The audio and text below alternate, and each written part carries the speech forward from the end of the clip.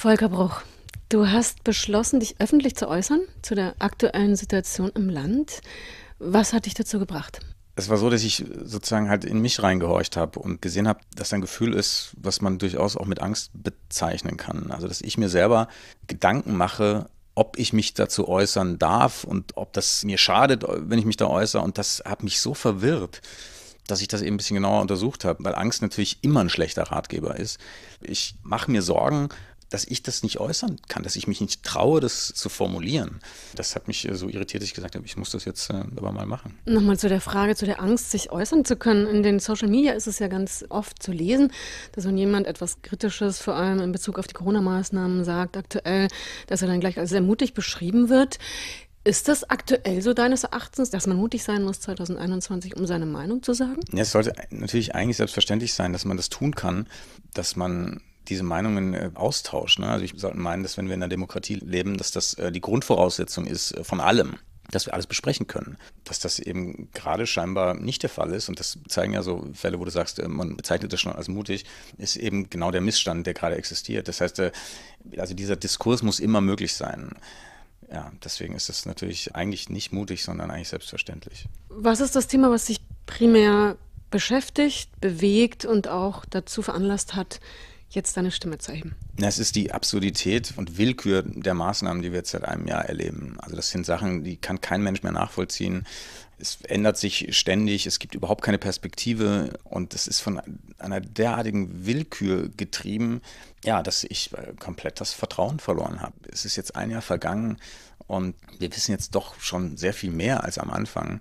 Deswegen ja, ist mir das unbegreiflich, dass da immer noch so ohne Richtung und ohne Ziel äh, da rumgekurft wird. Das heißt, es gibt deines Erachtens keinen Plan, wie wir aktuell aus der ganzen Situation herauskommen oder was meinst du konkret? Ich sehe überhaupt kein Licht am Ende des Tunnels. Die Maßnahmen sind ja alle begründet durch den Inzidenzwert und der Inzidenzwert kommt von den positiven PCR-Tests. Die PCR-Tests können aber gar nicht zwischen toter und lebendiger Materie unterscheiden. Das heißt, wir wissen gar nicht, ob die Person infiziert ist, infektiös ist, ob da genug Viren sind, die sich vermehren, ob man andere ansteckt oder ob man einfach nur gesund ist und das Immunsystem wunderbar mit ein paar Coronaviren umgehen können. Das wird nicht unterschieden. Und dass das die Grundlage ist, für alles, was uns hier gerade einschränkt, das ist doch sehr fragwürdig. Und vor allen Dingen, das ist das nächste natürlich, wir haben auch eine Angstmaschinerie, die durch die Presse geht seit einem Jahr, die mich fassungslos macht. Wir haben es ganz konkret zu tun mit Angstmache. Das muss falsch sein. Das kann nicht richtig sein. Also ich will als mündiger Bürger wahrgenommen werden und ich möchte aufgeklärt werden und das Gegenteil findet statt. Du sagst, es fehlt die Aufklärung, es fehlen die evidenzbasierten Maßnahmen und es wird Panik geschürt. Es passiert auch permanent eine Art von Schuldzuweisung von Anfang an. Und aktuell, da zitiere ich den Vizekanzler Olaf Scholz von der SPD, der sagte, wenn aber ganz viele jetzt im ganz großen Stil nach in den Osterurlaub fahren, dann gefährdet das den Sommerurlaub von uns allen. Ja, das ist auch was, was wir von Anfang an beobachtet haben. Also diese Zuckerbrot- und Peitsche-Politik, ne, wo man immer das Gefühl hat, man muss jetzt hoffen auf irgendwelche Lockerungen oder man muss jetzt hoffen darauf, sozusagen seine Grundrechte Stück für Stück wieder zurückzubekommen. Das ist natürlich katastrophal. In meinem Umfeld, so wie ich das mitbekommen habe, haben wir doch alles gemacht, was äh, von der Bundesregierung kam. Ne? Also seit März, diese Lockdowns und diese Abstände und die Masken. Wir haben ja das alles getan. Und es war aber nie genug. Und irgendwann, finde ich, muss man sich dann fragen, okay, Moment mal, also das ist euer Plan und es funktioniert aber nicht. Und dann gibt es eben die Vergleiche, finde ich, mit Ländern, wo man auch sieht, dass es auch wirklich anders geht und dass da überhaupt nicht diese Katastrophe eingetreten ist, die uns ja auch ständig prophezeit wird. Und dann muss man irgendwann sagen, nee, halt, stopp, so, so mag ich das nicht. Du bist Schauspieler. In deinem Fall hieße, dass es gibt einen, und das wurde bereits schon vor langer Zeit ein Hygieneplan arbeitet sowohl fürs Theater als auch für die Kinos. Im Grunde genommen könnten wir mit Hygienekonzept sofort wieder anfangen, sowohl ins Theater zu gehen als auch ins Kino. Natürlich müssen wir die Veranstaltungen wieder zulassen und müssen eben mit Hygienekonzepten gucken, dass äh, der Betrieb wieder weitergeht. Aber so dieses Stopp, wir müssen alle stehen bleiben, wo wir gerade stehen, damit sich niemand mehr berührt und damit keine Infektion mehr stattfinden kann, das ist völlig utopisch. Und wir sehen ja, dass es nicht funktioniert. Also das verstehe ich nicht, dass da überhaupt kein Lerneffekt äh, eintritt. Es gab ja jetzt hier ein Pilotprojekt in Berlin, da hieß es, okay, so und so viele Leute können ins Berlin Ensemble gehen, können sich ein Theaterstück anschauen. Dasselbe galt auch für ein Konzert mit Test. Wie kann man sich das in Zukunft vorstellen? Wir haben jetzt ein Hygienekonzept, wo die Menschen mit Abstand sitzen und dann muss jeder noch dazu zu dem Eintritt für Kino oder Theater den Test zahlen? Die Tests sind ja die eigentliche Ursache des ganzen Problems. Je mehr wir testen, desto mehr falsch positiv getestet wird es auch geben. Also steigt der Inzidenzwert wieder. Das hat Jens Spahn selbst gesagt vor ein paar Monaten. Wieso ist das jetzt wieder völlig aus dem Blickfeld geraten? Meine, das kann man gezielt durchaus einsetzen, sicher. Ne? Und ich finde, in Altenheimen, Pflegeheimen ist das vielleicht eine gute Idee, ne? dass man sich da Konzepte überlegt, dass man da wirklich das ausschließen kann. Aber so für den allgemeinen Gebrauch millionenfach zu testen, jeden Tag, also ich kann das nicht nachvollziehen. Volker, wo stehen wir deines Erachtens aktuell mit unserer Gesellschaft? Puh, gute Frage, ja.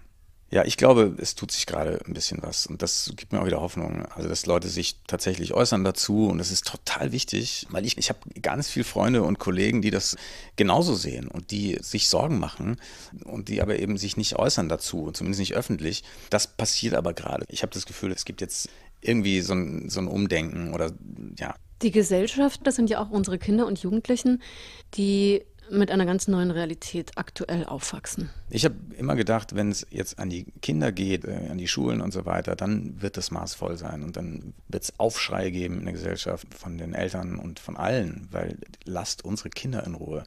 Und das ist natürlich überhaupt nicht passiert, im Gegenteil. Ähm, und das ist auch ehrlich gesagt das, was mir mit am meisten Angst macht, dass gerade eine Generation heranwächst, die diese Nähe, mit der wir aufgewachsen sind, überhaupt nicht mehr kennenlernen und für die das völlig normal ist, dass wir Angst voreinander haben, nämlich die Angst, äh, uns anzustecken und noch schlimmer, die Angst, dass wir andere Leute anstecken, die deswegen sterben. Und das können wir überhaupt nicht abtun als, naja, das ist ja jetzt nur kurz oder das äh, ist ja bald vorbei, sondern das ist, glaube ich, was, was so tief vermittelt wird, dass uns das große Sorgen bereiten müsste. Weil das wird die nächste Generation sein. Und für die wird das alles ganz normal sein. Und das ist erschreckend. Aber die Frage ist hier, was passiert denn, wenn man sich öffentlich äußert? Oder was ist die Angst, was passieren kann, wenn man ein Mensch ist wie du, der im öffentlichen Leben steht und sehr bekannt ist? Was natürlich passieren kann, ist, dass man natürlich keine Jobs mehr kriegt, dass man irgendwie nicht mehr angestellt wird, dass man diskreditiert wird. Das ist ja das Nächste, dass man in irgendwelche Ecken geschoben wird, rechts oder Aluhut oder was auch immer es gibt ja genug Framing-Beispiele, wo man gesagt hat, okay, also dass dem das jetzt passiert, also ich meine, das macht ja überhaupt keinen Sinn. Und auf einmal steht das dann in Wikipedia drin bei denjenigen, der umstrittene, bla bla bla und so weiter, wo man denkt, so, Moment mal, also äh, der hat doch nur gesagt das. Also das wird aber dann gar nicht mehr zurückverfolgt. Und selbst wenn man es zurückverfolgt und selbst wenn das revidiert wird, hat man das ja trotzdem an sich kleben dann. Ne? Das wird man ja auch nicht mehr los. So. Und das ist, glaube ich, was, wovor viele und erschreckenderweise wahrscheinlich sogar berechtigt Angst haben. Es könnte passieren, dass du in eine Ecke geschoben wirst, dass du diskreditiert wirst und dann? Ja, das ist eine Frage, die man sich immer stellen kann. Was passiert denn, wenn? Aber tatsächlich ist es im Augenblick, finde ich, so, dass ich das Gefühl habe, ich habe sozusagen in dieser Position und in dieser Figur der Öffentlichkeit, die ich auch bin, dann irgendwann auch nichts mehr verloren, wenn ich mich nicht äußern darf und wenn ich nicht das sagen darf, was ich denke ja, wenn ich zu lange nichts sage, dann habe ich auch das Gefühl, dass ich dem eigentlich zustimme, was der Konsens ist. Das heißt, eigentlich muss man, glaube ich, auf sein Herz hören, weil kritisiert wird man sowieso. Also wenn das nicht mehr mein Platz sein soll, dann ist es auch so. Und dann ist jetzt aber auch nicht so, dass ich mich äh, jetzt nur als Schauspieler definiere. Ich habe ja genug andere Sachen zu tun. Was ich noch zur Angst sagen wollte, also die Angst überwinden heißt ja auch die Angst zu durchschauen. Ne? Und das Gemeine in dieser Situation, in der wir uns gerade befinden, ist, dass sozusagen, also wenn man sich die Schlagzeilen des letzten Jahres anguckt, das geht ja auf keine Kuhhaut. Das muss man ja als Propaganda bezeichnen. Also das sind solche starken und gefährlichen Sätze mit Flugzeugabstürzen wird da verglichen und mit qualvoll ersticken und das macht alles Angst wir Menschen sind ja auch so sozialisiert, dass wenn wir Angst haben, dann wollen wir ja eigentlich jemanden in den Arm nehmen, der uns tröstet. Und genau das geht nicht. Uns wird Angst gemacht, Und dann wird aber gesagt, hier isoliert euch mal. Und das ist, finde ich, so perfide. Oh, das ist, da wird mir richtig schlecht. Volker, brauchen wir also Nähe und Gemeinschaft, um eine Pandemie zu überstehen? Ja, absolut. Wir müssen, wir müssen wieder zusammenkommen. Und es muss möglich sein, unemotional miteinander reden zu können, ohne sofort an die Decke zu gehen. Ich habe einen Freund, mit dem ich telefoniert habe, der hat mich nur noch angeschrien. In meinen Augen, ich habe einfach nur eine Frage gestellt und dann war aber Schicht im Schacht. Diese Panik, die da überall mitflirrt, die ist einfach ungesund. Und wenn es uns doch um Gesundheit geht, darum muss es uns doch auch gehen, dann brauchen wir wieder einen gemeinsamen Nenner und dann müssen wir uns miteinander auseinandersetzen. Ich finde, dann müssen wir uns auch mal in den Arm nehmen. Also das, äh, das ist einfach lebensnotwendig.